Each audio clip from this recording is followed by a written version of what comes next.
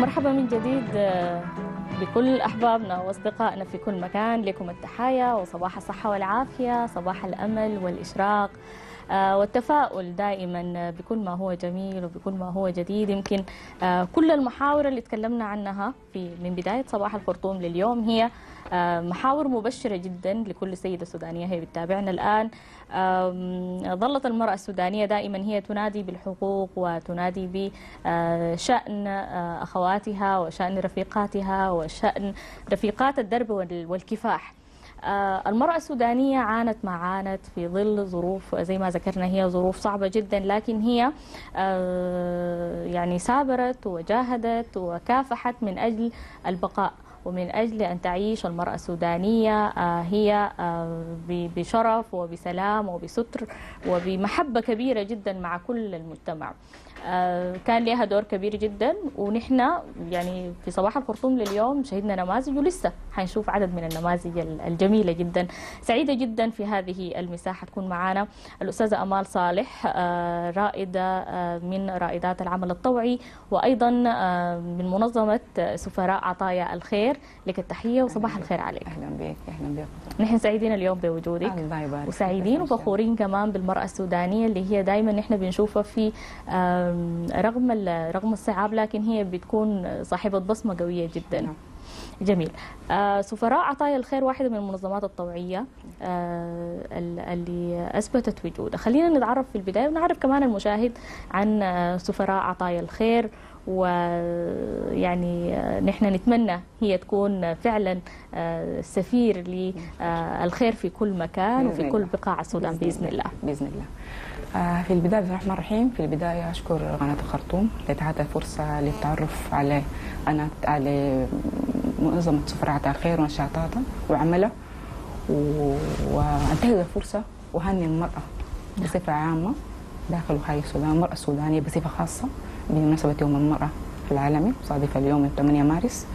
وحي كل تضحياتها ونشاطاتها وعملها في المجتمع. وهي المرأة هي بذرة الخير في المجتمع. صحيح.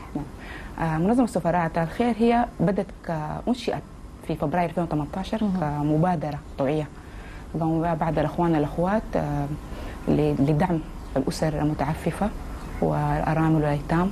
يعني فئات الشعب آه، من الأسر المتعففة. فئات المجتمع سوري. فمنظمة سفراء عطاء الخير بعد ذاك تم أنشئ بعد ذاك سجلناها بصفة رسمية في يوليو 2019 وقمنا بالعديد من النشاطات. دعمنا دائما بيكون دائما داخلي من من الأعضاء ومن الخيرين داخل وخارج السودان. آه، قمنا بنشاطات عديده بنجيب في مع فئات المجتمع بصورة عامة. خاصه الاسر المدعفه من الأرامل والأيتام والمعاقين آه، بتوفير العلاجات توفير الكراسي للمعاقين بعمل عمل أطراف صناعي حاجات. آه، برضه بن- بنساعد في التعليم. نشاطاتنا نشاط تعريب نشاطات المنظمة يعني. آه، وده كله بدعم داخلي فقط لم نتلقى أي دعم من بصفة رسمية من جهة رسمية داخلية أو خارجية. كل دعم خيرين والحمد لله. فبنقوم بنشاطات كثيرة بنقوم آه، بدعم التعليم بنساعد الأسر المتعففة دافع رسوم المدارس. آه، جامعات رسوم امتحانات حسب ال- الحوجة. وساعدنا كثير ساعدنا كثير في في عندنا حاجة كده اسمها الدقيق الشهري نقدم الأسر المتعففة دقيق زورة شهريا. بنقوم حسب الأعضاء كل أعضاء بيجيبوا مجموعة الأسر المتعففة حواليهم. بندعو الخيرين بنساهم بيساهموا معنا بنشتري العيش بندققه بنعبيه في أرباع بنوزعه للأسر. جميل. سنويا بجهز كيس الصايم برضه بدعم من الأعضاء والخيرين داخل خارج السودان. سنويا بنقدم لبعض الأسر برضه خارج خرطوم داخل ولايه الخرطوم وخارج الولايه نعم. بأعضاء المنظمة منتشرين في الولايات الأخرى. القريبة طبعا ما البعيدة.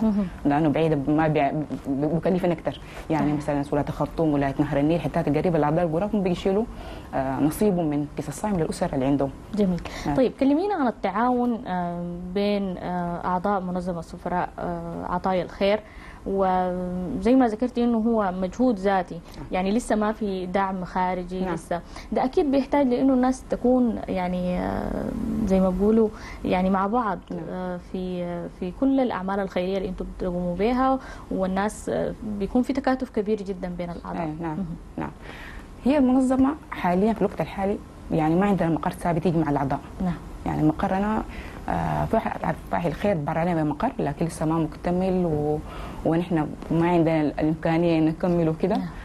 فمنتهز الفرصه دي الناشد الخيرين يساعدونا شوية في في تكملة المقر عشان نقوم بنضم بأسرع صوتنا. لصوتكم يعني دائما المنظمات ال- الخيرية اللي هي بتقوم بأعمال كبيرة جدا وبتقوم بأعمال هي مفروض آه، تكون من الجهات المسؤولة تكون من المؤسسات ال- ال- ال- المؤسسات الدولة المختلفة آه، فطالما هي بقت هي يعني منظمات خيرية وأعمال خيرية فبيبقى إنه الناس آه، كل ما دعمتها وكل نعم. ما كانت نعم. جنبها وكل ما ساعدتها في إنها تبني روح أو يعني وتقدم. الأعمال الخيرية دي هي أكيد بيكون نتاجها كبير جدا في المجتمع يعني. وبتلقى حظها من إنها تثبت حاجات كثيرة جدا نعم. يعني أنا بقول دائما الحاجة لما تقوم من أصحاب الوجعه نفسهم آه بتكون أكبر أكبر، نعم. أكبر من نعم. من أيوة، من, أيوة. من إنها تقدم من من جهات الجهات المسؤولة نعم. يعني. نعم، أكيد يلا ال- ال- الشغل بتاع ال-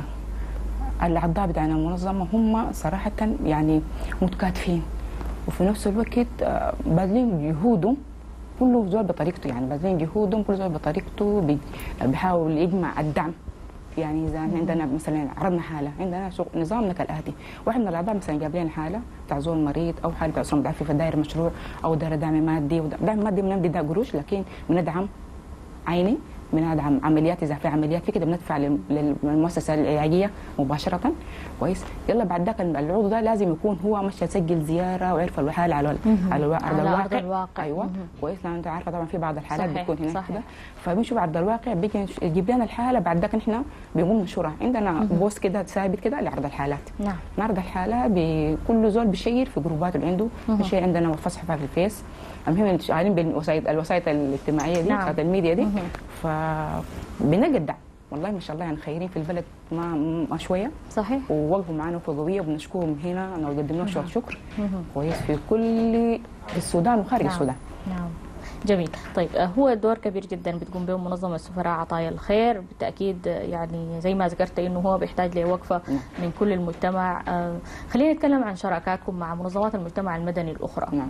بالتأكيد آه، يعني ب- يعني كل المنظمات هي بتجتمع على على صح. على فعل الخير طبعاً. وبتجتمع على. محبة الوطن. وتقديم الخير أيوة. للمجتمع مشار- شارك مشاركات المنظمة ب- مع منظمات الطوعية الأخرى مهم. هي منضوية تحت مركز الشراكة الطوعي نعم قدمنا كثير من المشاركات مهم. يعني قدمنا احتفالات في دار في احتفلنا باليوم العالمي للمسن للمسنين قدمنا يوم الترفيهيه للمسنين بدور المايقو بدور سجانة نعم. وبحري دار المسنين دار المسنين مهم. أيوه وقدمنا يوم ترفيهي لأطفال المايقومه يا سلام. وقدمنا لهم هدايا كان في الشتاء ملابس شتويه وبطاطين وكده. مهم. وقدمنا آه، ساهمنا أو شاركنا في اليوم اليوم اليوم العربي للتطوع بدرس شهر للاطفال المعاقين. يعني وتاني ساهمنا في يعني مناشط كثيرة بيعرضها مركز الشراكة الطوعي مع المنظمات الأخرى بمنظمة شفرات الخير. دائما بتكون هي من المنظمات الأولى المشاركة في الفعاليات نحن نتمنى هي دائما تكون إن في شاء الله، اللهم المقدمة. وهي دائما. تكون في آه، يعني فعل الخير هو من الحاجات الجميلة جدا يعني الواحد دائما بيلقى نفسه. آه،. النفس ال- البشرية والنفس السودانية تحديدا. يعني اتعودنا على إنه الواحد يسعى للخير بكل تفاصيله بكل ومجتمعنا جماله أصلا هو قايم على. الخير من بدري يعني حتى قبل قيام المنظمات وال... هذا المجتمع السوداني من بدري. هو قايم به صحيح نحن نتمنى لكم التوفيق رب. أمال صالح. آه، رائدة آم، يعني واحدة من ال- من ال- الناشطات آه، بك. وفي العمل الطوعي وفي مجال العمل الطوعي وأيضا آه، منظمة سفراء عطايا الخير. حقيقة آه، أمنياتنا لكم بالتوفيق إن شاء الله و مشكورين. إن شاء الله. بزيادة المجهود أيضا نتمنى. إنه نلقاكم في كل في كل المجتمع السوداني. بتقدموا كل الأعمال الجميلة بإذن الله. شكرا لكم. كثر خيركم. كثير. شكرا. شكرا جزيلا. شكرا. نشكر قناه الخرطوم لهذه الفرصة. ومناشدة أخيرة للخيرين. إحنا قدامنا تحدي كيس الصايم. السنة دي. صحيح. والناس كلها عارفه الظروف. صحيح. والاسواق وكده. وقد- ورمضان على الابواب والمدعفين انتظارنا أسرة المدعفين انتظارنا إن شاء الله. نتمنى من كل الخيرين داخل هاي السودان يدعمونا. هم ما قصروا وما مقصرين لكن منتظرين منتظرين المزيد إن شاء الله إن شاء الله. ربنا يجعل إن شاء الله في. ميزان حسناتكم. ودائما آه، يعني عمل الخير هو من الحاجات الجميلة جدا يد العون. آه، دائما في كل الظروف نكون سند وعضد لبعض كمجتمع سوداني. نفخر دائما بسودانيتنا نفخر دائما بالأعمال الجميلة. اللي بنقوم بها نحن كسودانيين من الأعمال الخيرية. آه، نحن حنتواصل في صباح الخرطوم لليوم ويوم المرأة العالمي.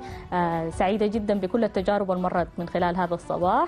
آه، ولسه عندنا كمان تجارب جاية ونفخر بكل سيدة سودانية بتتابعنا عبر صباح الخرطوم. صباح الخير.